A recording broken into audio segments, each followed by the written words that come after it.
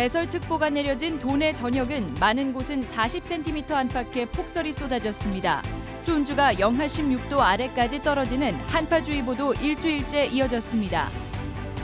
한파 속에 폭설까지 쏟아지면서 전기가 끊기고 비닐하우스가 무너졌습니다. 일부 학교는 개학까지 연기했는데 눈이 그치면서 피해는 더 늘어날 전망입니다.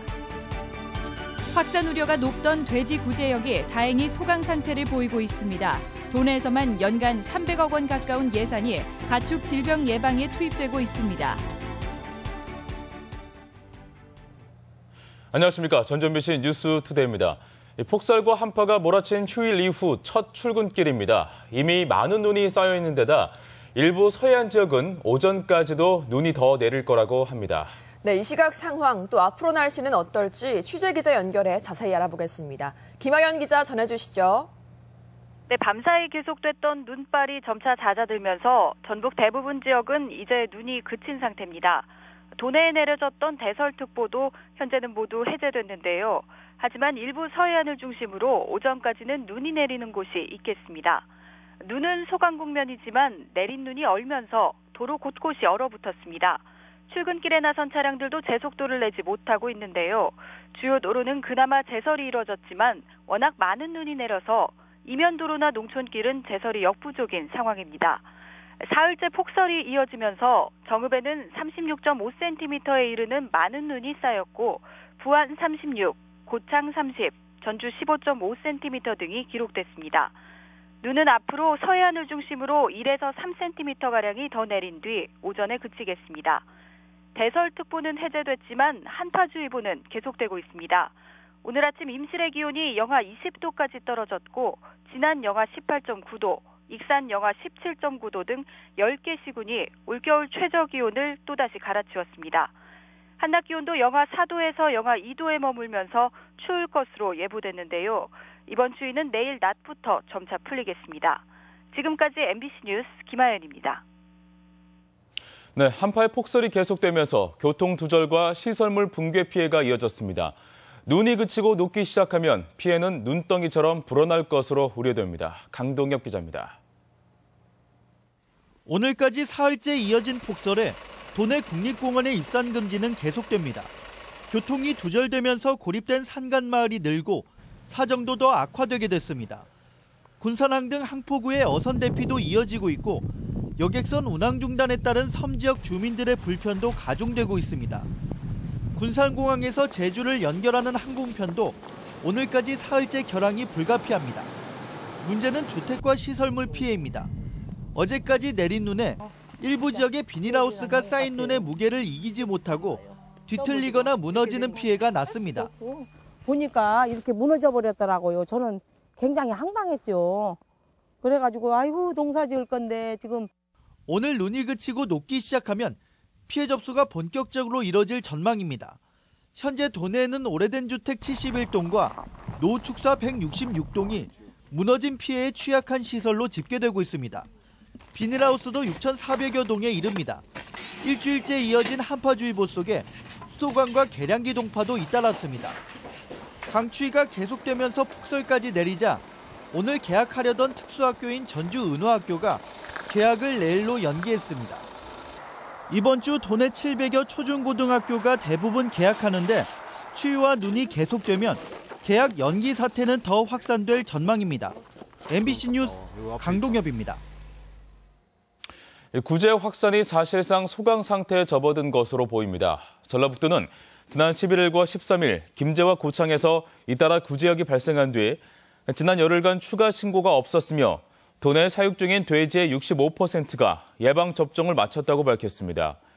또 구제역 추가 발생 확률이 높은 잠복기간 14일이 지나면서 도내 구제역이 조기 차단됐다는 전망도 조심스럽게 나오고 있습니다. 도내 가축질병 예방과 차단 방역 예산이 연간 300억 원에 이르고 있습니다. 전라북도에 따르면 구제역 예방 백신 공급 15억 원 등 각종 전염병 백신 공급에 연간 170억 원이 소요되고 차단 방역까지 포함하면 288억 원이 가축질병 예방에 투입되고 있습니다. 환경단체는 이에 대해 비위생적인 공장식 사육 환경은 방치하고 단방역 처방만 한 결과라며 원인 제공자인 축산인 또는 축산기업의 비용 부담 원칙을 제시하고 있습니다. 기초연금 등 사회복지 사업의 확대로 지방비 부담이 커지고 있습니다.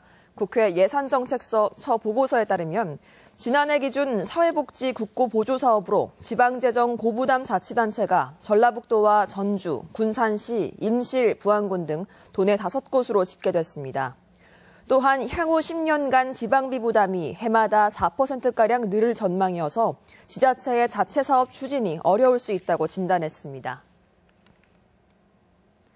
전라북도의 인재 확보 역량이 전국에서 최하위 수준으로 나타났습니다. 산업연구원이 최근에 낸 보고서에 따르면 전라북도는 인재를 영내로 유인하거나 영내에서 양성하는 역량이 전국 16개 시도 가운데 제주, 전남, 강원도에 이어 네 번째로 낮았습니다.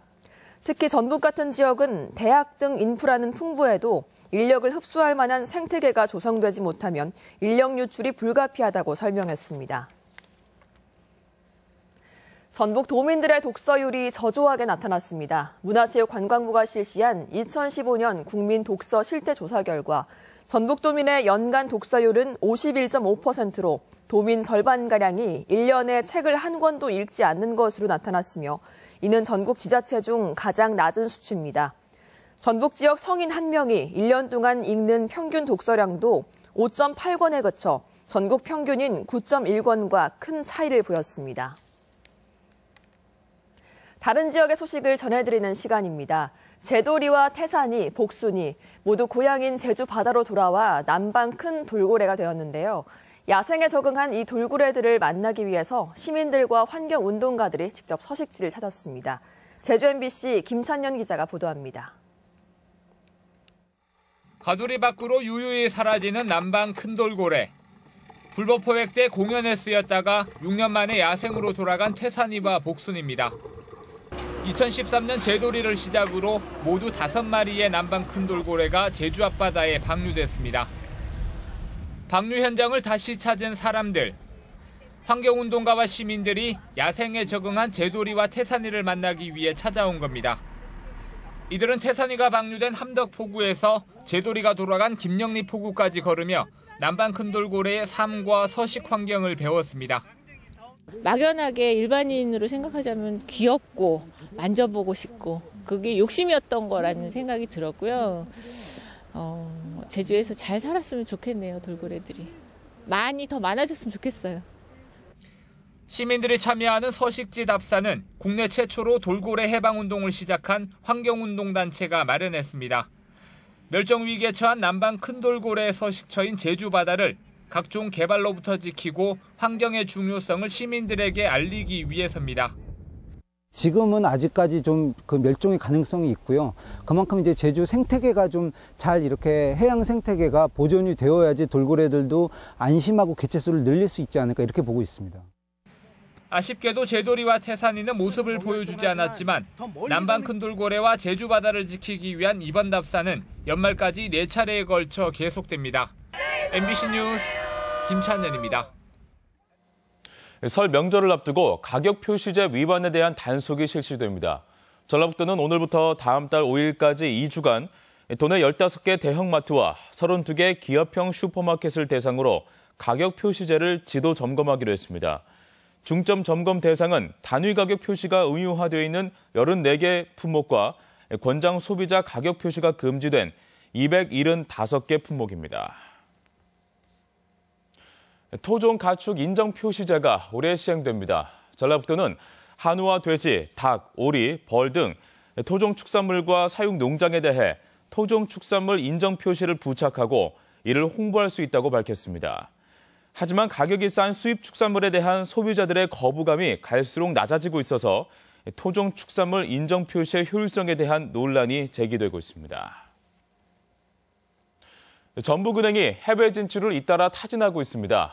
전북은행은 최근 계열사인 JB캐피탈을 통해 베트남 하노이에 캐피탈 사업 지점을 개설하고 베트남의 주요 교통수단인 이륜차를 담보로 하는 소매금융에 나섰습니다. 이와 함께 캄보디아에서는 푸놈펜 상업은행 인수에도 뛰어들어 모태는 지방은행이지만 수도권과 동남아 진출까지 활발한 영업 활동을 전개하고 있습니다. 중소기업의 해외 시장 판로 개척을 위한 지원 사업이 시행됩니다. 중소기업진흥공단 전북지역본부는 오늘부터 도내 중소 수출기업을 대상으로 해외 토탈 마케팅 지원 사업 신청을 접수한다고 밝혔습니다. 지원 대상에 선정되면 항공료와 통역료 등 해외 세일즈를 위한 출장비를 공단에서 지원하고 해외 지사 개설을 추진할 경우 최대 400만 원의 보조금을 받을 수 있습니다.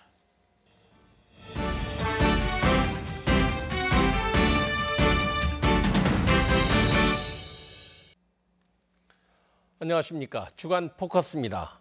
지난해 말 감사원이 이건식 김제 시장을 업무상 배임 혐의로 검찰에 수사 요청한 것과 관련해 김제 씨와 시민단체 간의 공방이 가열되고 있습니다. 또한 이 같은 공방으로 인해 김제 시정이 블랙홀로 빠져드는 게 아닌가 하는 시민사회의 우려도 높아지고 있습니다. 김제 씨 농민회 등 시민단체들은 지난주 기자회견을 갖고 김재 씨의 가축 면역 증강제 구입은 누가 봐도 납득하기 힘든 특혜와 직권 남용이라며 검찰의 철저한 수사와 지방의회 진상 규명을 촉구했습니다. 이 같은 시민단체 주장에 대해 이건식 시장은 지난주 감사원에 제출한 재심 신청을 통해 면역 증강제에 효능이 없다는 것은 근거가 없고 김재 시정에 손해를 끼친 사실도 없다고 주장함으로써 이 문제는 이제 양측의 진실 공방 양상으로 번지는 모양새입니다. 이 시장은 특히 특정 업체 제품 구입은 오비락격이라며 결백을 주장했다고도 합니다. 그러나 이 문제와 관련해 우리는 시민단체 진상규명 요구는 당연하며 이 시장도 조속한 검찰 수사를 통해 자신의 입장을 밝힐 것을 말해두고 싶습니다. 하지만 국가 최고 감찰 기관인 감사원이 이런 지적을 하고 나선 점이나 이 시장 자신이 어려울 때 후배로부터 금품을 받은 사실 등을 볼 때 여러 가지 미심쩍은 면이 없지는 않습니다. 특히 이번 사건 말고도 얼마 전 지평선 산단의 측량 문제나 공무원 인사의 난맥상이 제기되는 등 김제 시정의 투명성이 여러 차례 의심받고 있는 것은 중대한 문제가 아닐 수 없습니다. 어려운 사람을 돕는 것은 인지상정이지만 그것이 여러 차례에 걸쳐 특혜라는 지적을 받는다면 그것이 어찌 투명한 행정이라고 할 수 있겠습니까? 우리는 이런 문제로 김재 시정이 장기간 공백을 믿고 시민 여론이 양분되는 그야말로 블랙홀이 되지 않도록 조속한 수사와 진상 규명이 이루어지기를 기대합니다. 주간 포커스입니다.